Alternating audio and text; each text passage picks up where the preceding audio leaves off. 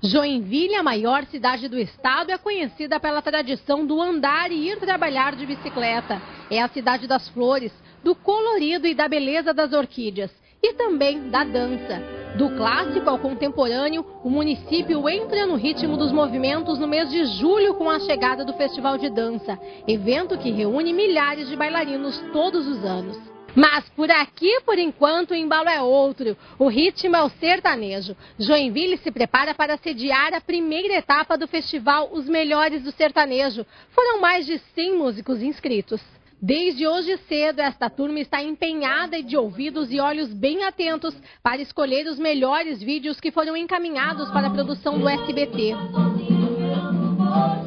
E a gente, como instituição de ensino que investe na, na, educação, não apenas na educação básica e técnica, mas também na educação esportiva e na educação cultural, estamos apoiando com, com muita alegria esse projeto e temos certeza que vai ser um diferencial em Santa Catarina. O nível está bom, nós temos muitas duplas inscritas, então assim, o trabalho de hoje para a seleção dos candidatos vai ser bastante difícil.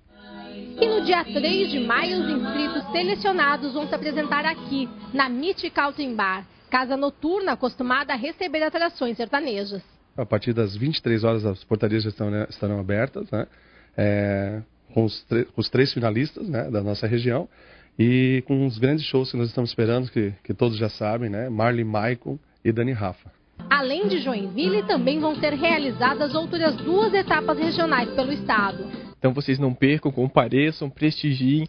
Vamos ter a gravação do DVD no show é, venham participar conosco. Depois dessa gravação, nós vamos ter um programa ao vivo, vamos marcar essa data, vamos apresentar os nossos candidatos selecionados aqui na região de Joinville, para todo o estado de Santa Catarina, para que vocês tenham a oportunidade de votar. Vocês é que vão escolher quem é o melhor do sertanejo de Santa Catarina. E já que vai ter voto popular, então você já sabe, você é nosso convidado para fazer do festival Os Melhores do Sertanejo um grande sucesso.